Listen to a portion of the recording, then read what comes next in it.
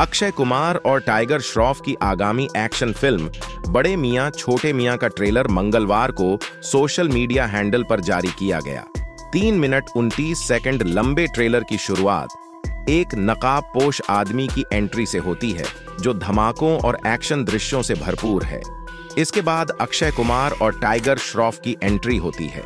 जब अपने सदाबहार अंदाज में टाइगर श्रॉफ कहते हैं, दिल से शॉल्जर, दिमाग से शैतान हैं हम।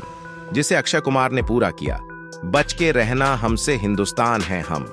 इसके बाद दोनों को रेगिस्तान के बीच में घुड़सवारी करते हुए, हँसी मज़ाक करते हुए देखा जा सकता है।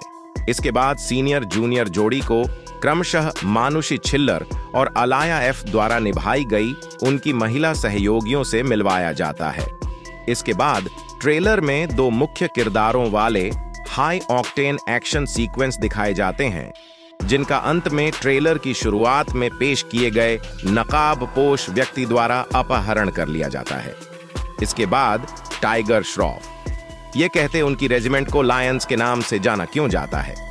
इस पर अक्षय कुमार कहते हैं, क्या रेजिमेंट का सिपाही जितना जख्मी होता है? और टाइगर श्रॉफ जवाब देते हैं, उतना ज़्यादा खतरनाक होता है। फ़िल्म के ट्रेलर के एक एक सीन में दोनों स्टार्स का ज़बरदस्त एक्शन ने फैंस का एक्साइटमेंट बढ़ा गया डायरेक्टर अली अब्बास ज़फ़र ने फ़िल्म के हर सीन में अक्षय कुमार और टाइगर श्रॉफ का भरपूर एक्शन डाला है कि फैंस की धड़कनें बढ़ जाएँ।